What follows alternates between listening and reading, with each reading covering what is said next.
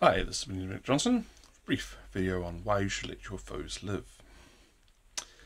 In most trad fantasy RPGs, PCs quickly rack up an extremely high and bloody kill count. Mostly because many of these games reward murdering your foes. But you should consider sparing their lives instead. After all, they're still beat and the definition of getting your XPs in those games is defeating your foes. Not killing them, defeating. So, a bruised, battered, and not terribly conscious enemy is still a defeated enemy. So you're still getting your experience points there if you're playing that sort of trad game. But there are other benefits. The first is that you get a reputation for showing mercy.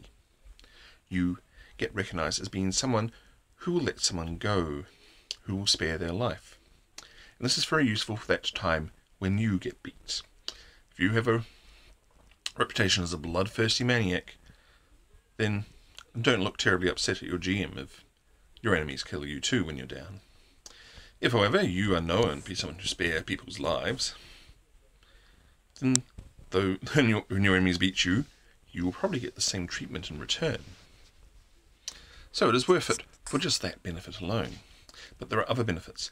Defeated enemies who can live can tell you about their ransom. They can, or if they are rich, then they can be ransomed back. They can, you have heard the phrase "a king's ransom."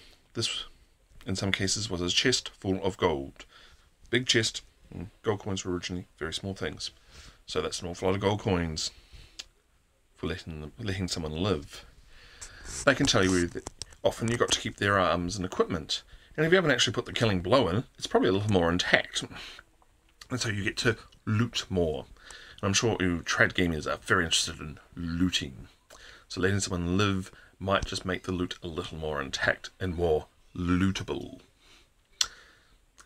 Enemies, also defeated enemies who live, are also full of knowledge. Defeated mages, defeated wizards, will all have access to spells. They will have access to magics. They will teach you things.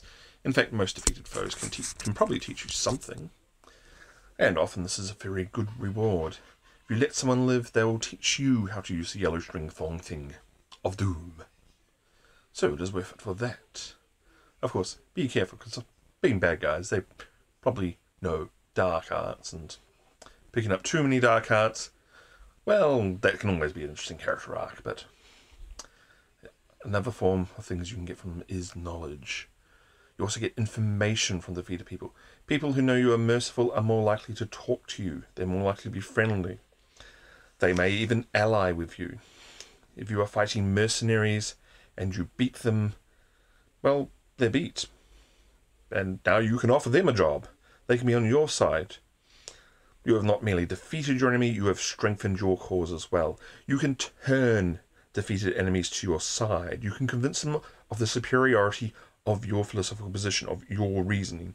You are right because you and you have shown that you're that you are right because you have beaten them, you have defeated them. Your philosophy, your way of life is obviously superior. Why don't you join? Why don't they join your side? And hopefully some of them will. And so again, you have made your cause stronger and your enemy's side weaker at the same time. This is a better result than simply making your enemy's side weaker. And other things you can do defeated enemies, you can yes, you can ask them for things. You can ask them once you've got a dead enemy. Well, they can help you. They can give you information. They can tell you about that thing. You can't get any of that out of a dead person. So hopefully those are a few reasons why you should let your enemies live. Of course, most of this advice is probably null and void if you're a necromancer, and you can probably talk to them anyway. You probably want to get them to that state as soon as possible. Thank you.